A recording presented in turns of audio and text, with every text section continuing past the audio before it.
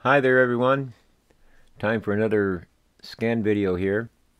This cauliflower I scanned with the pop maybe a couple of months ago and printed it. I printed this one on my Prusa printer.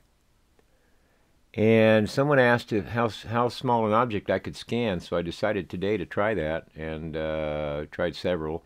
This is about the optimum size here. This, this cauliflower is within the roughly 40 cubic millimeter volume uh, area that I heard someone say is about the, the limit. I don't know if it's true or not, but it appears to be so, so far. I don't know where the um, black dots come from. Well, I know those black dots are coming from the turntable, the ones you see there. Here we go into the scan, into the scan. I usually play around with it a little bit before I start to scan. There I'm repositioning it again try to try to get the scan to do the best the first pass you know my during the that that one session so that I don't have so much touch up cleanup because I'm not expert at these modeling programs. I, I don't even know how to use blender yet.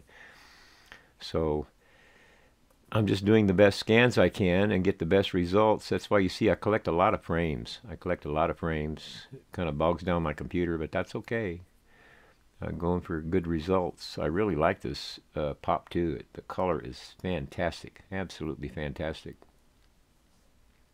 And I'm still working on my lighting. I, I, have a lot of lighting deficiencies. You can see the background flash as my uh, subject moves around. I didn't notice that until I started videoing. But now that I'm videoing, the, videoing these things, and now we finished fusing, going to mesh, and I'm going to texture this just to show you what happens when I texture. I don't like the texture. Maybe the devs at Revopoint could shed some light on this, eh? let us know what those black dots are in the texturing. There you have it.